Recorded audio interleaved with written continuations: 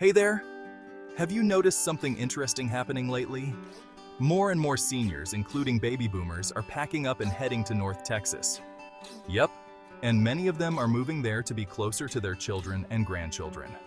It's becoming quite the trend, and for good reason. First off, let's talk about that Texas charm. North Texas has a blend of small-town friendliness and big city perks.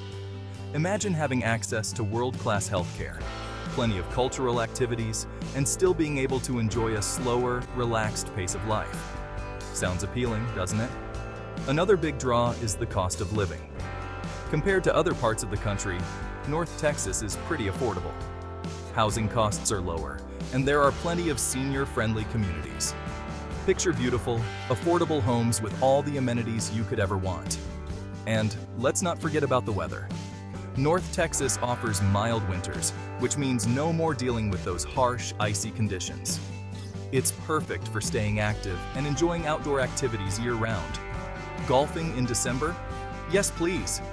Speaking of staying active, North Texas is a haven for that. There are countless parks, walking trails, and recreation centers. Plus, many communities offer organized activities and clubs. Whether you're into gardening, arts and crafts, or joining a book club, there's something for everyone. But what really makes North Texas special is the sense of community. People are friendly and welcoming, and there's a strong sense of belonging. It's easy to make new friends and feel right at home.